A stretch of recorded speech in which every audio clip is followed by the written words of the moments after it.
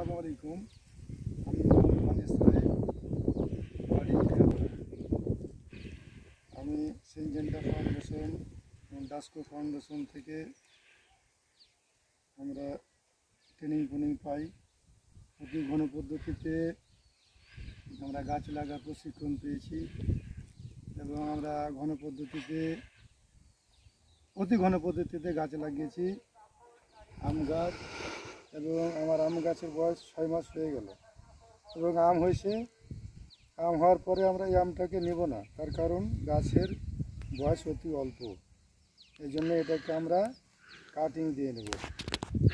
Cutting দিয়ে নেওয়ার পরে আমাদের গাছটা এই ছাতার মতো হবে, অনেক কুশি দিবে। গাছটা সবল হবে। তিন বছর পরে আমরা আম দেবো এবং আমটাকে আমরা, গাছটাকে আমরা পুষ্টি মতো পাবো।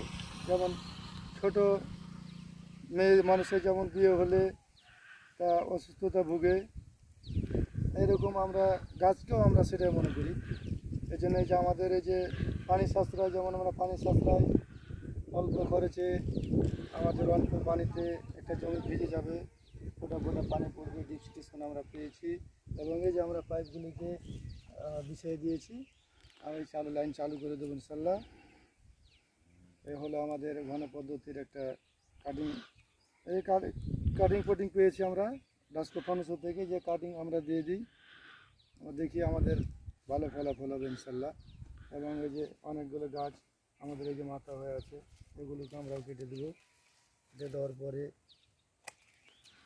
আমাদের গাছগুলোকে সবল করব।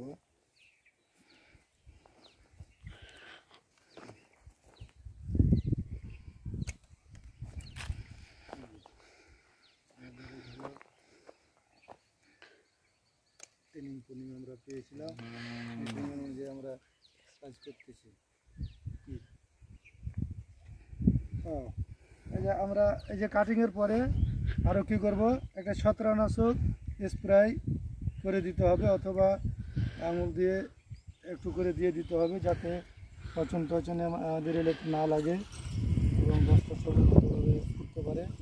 সেই জন্য আমরা এই স্প্রে একটা করে দেবো। Thank you.